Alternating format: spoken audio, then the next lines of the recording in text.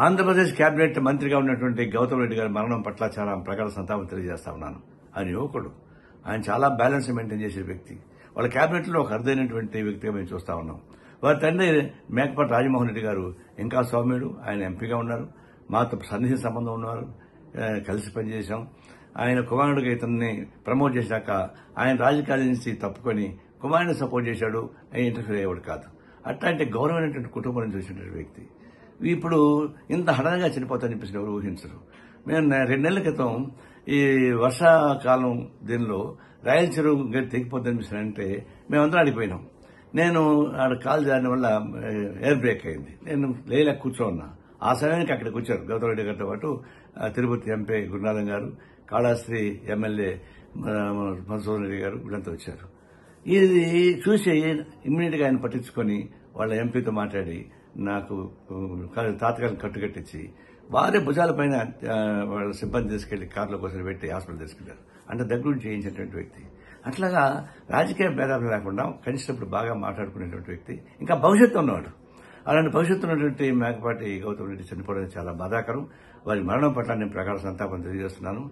వారి తండ్రి గారికి నేను ఎంత చెప్పినా సాధ్యం కాదు. వారిని ఓదార్చడానికి వారికి నా మనస్ఫూర్తిగా సంతాపం తెలియజేస్తూ తర్వాత వాళ్ళ క్యాబినెట్ చీఫ్ మినిస్టర్ చాలా దురదృష్టకరం చాలా బాధాకరం ఈరోజు.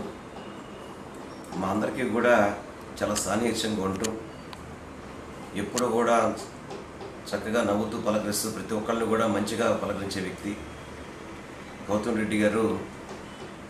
అకాల మరణం అనేది చాలా బాధిస్తుంది. ఎందుకంటే ఇరవై ఐదు మంది క్యాబినెట్లో కావచ్చు నెల్లూరు జిల్లాలో కావచ్చు ప్రతి వాళ్ళకి కూడా గౌతమ్ రెడ్డి అంటే చాలా మంచి వ్యక్తి. చాలా మంచి హృదయంతో పలకరిస్తాడని చెప్పి నేను భావించే వ్యక్తిలో.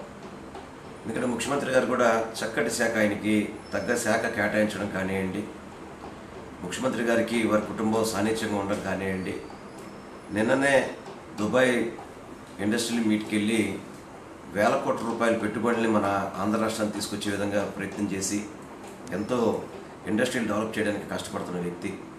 ఈరోజు ఆయన మరణ వార్త వినడం అనేది చాలా బాధ. ముఖ్యంగా చెప్పాలంటే వైఎస్ఆర్సీపీ పార్టీకి కూడా తీరని లోటు ఇటువంటి మంచి వ్యక్తి లేకపోవడం అనేది.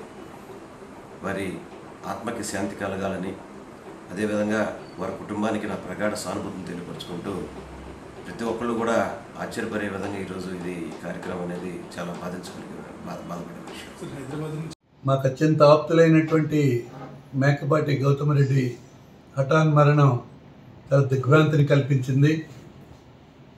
ఉన్నత విద్య చదువుకొని విదేశాల్లో ఒక సమర్థవంతమైన సహచర మంత్రిగా మాతో కలిసి జగన్మోహన్ రెడ్డి నాయకత్వంలో పనిచేసినటువంటి గౌతమ్ రెడ్డి చాలా మంచి ఉన్న ఉన్నతమైన వ్యక్తిత్వం కలిగినటువంటి నాయకుడు భవిష్యత్ ఎంతో ఉన్నత భవిష్యత్తు ఉన్నటువంటి నాయకుడు.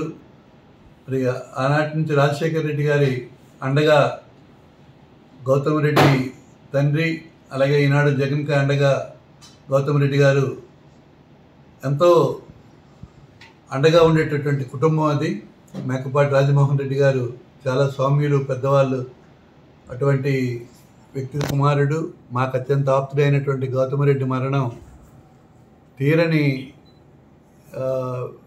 లోటుగా మేము భావిస్తున్నాం వైఎస్ఆర్ పార్టీ శ్రేణులని. ఈ రాష్ట్రంలో ఎంతో భవిష్యత్తు ఉన్నటువంటి నాయకుడిగా మా అందరం అనుకున్నాం.